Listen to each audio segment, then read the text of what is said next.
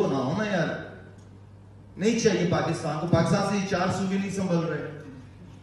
आप इंडिया को भी नहीं दो पाकिस्तान को भी नहीं चाहिए कश्मीर। कश्मीर को। तुम दूध मांगोगे हम खीर देंगे। तुम कश्मीर मांगोगे हम पकड़ के चीर देंगे। क्रिकेट पॉलिटिक्स और एंटरटेनमेंट की न्यूज़ के लिए हमारा चैनल सब्सक्राइब कीजिए और लाइक कीजिए कमेंट कीजिए और हमें कमेंट में बताइए आपको कैसा लगा। हेलो दोस्तों आपको इस वीडियो में बताएँगे शाहिद अफरीदी की एक कंट्रोवर्सी आपको पता ही होगा, पाकिस्तानियों के लिए पाकिस्तान की फौज दुनिया में नंबर वन फौज है और पाकिस्तानियों के लिए पाकिस्तान का क्रिकेटर शाहिद अफरीदी दुनिया का नंबर वन खिलाड़ी है। तो पाकिस्तान के इस नंबर वन खिलाड़ी ने एक दिया कॉन्ट्रोवर्सी भरा बयान।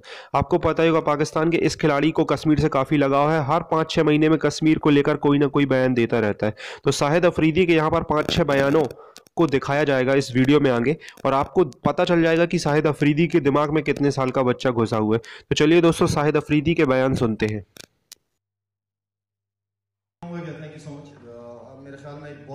है इसको दुनिया ने कश्मीर एक इशू बना दिया। कश्मीर कोई इशू नहीं है। जो वहाँ पे लोग रहते हैं, मैं कहता हूँ, चलो पाकिस्तान को नहीं चाहिए कश्मीर। इंडिया को भी ना दो।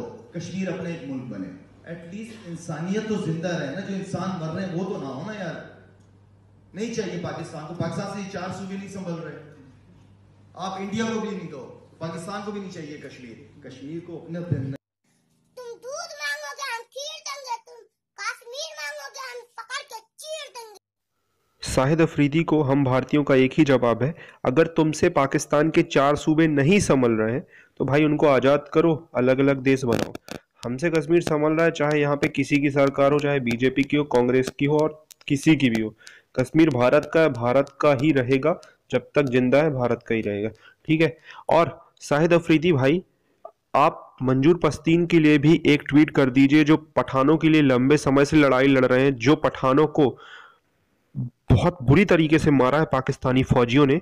उस पर भी एक ट्वीट कर दीजिए, क्योंकि आपका ताल्लुक भी पेशावर से ही है। तो प्लीज़ और शाहिद अफरीदी का आपको आगे एक गजब का वीडियो दिखाते हैं, जिसमें पाकिस्तान आर्मी के ऑफिसर स्पीच दे रहे हैं पाकिस्तान डे पर और शाहिद अफरीदी बड़े आराम से तंबाकू खा रहे हैं। तो देखिए।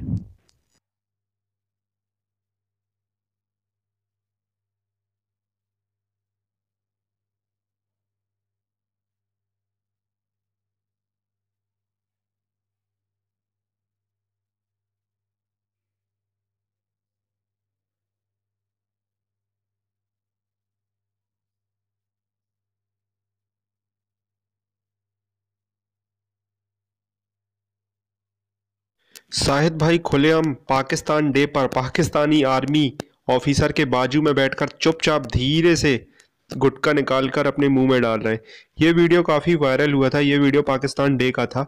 हालाँकि शाहिद अफरीदी का एक वीडियो और है, जिसमें पाकिस्तानी टीम के बारे में रिपोर्टर पूछ रहा है, पाकिस्तान की महिला टीम का क्या फ्यूचर देखते हैं आप? पाकिस्तान की महिला टीम कैसे दुनिया में अच्छा क्रिकेट खेलेगी और कैसे बाहर जाके मैच जीतेगी। तो शाहिद अफरीदी की तालिबानी सोच को आप देखिए उन्होंने क्या बोला? मैंने एक खबर पढ़ी अंडर 19 गर्ल्स के ट्रायल्स हुए पिशावर में और मैं तो बहुत खुश हुआ। शायद अफरीदी कितना हक में है कि पिशावर में गर्ल्स की क्रिकेट होनी चाहिए उनकी टीमें होनी चाहिए। दिल करता है कि हमारी खातन को भी स्पोर्ट्स में आगे आना चाहिए।